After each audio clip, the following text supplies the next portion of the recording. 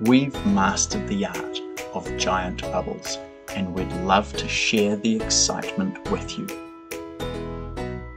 Our boys have been making giant bubbles with us for the last few years and still love it to this day.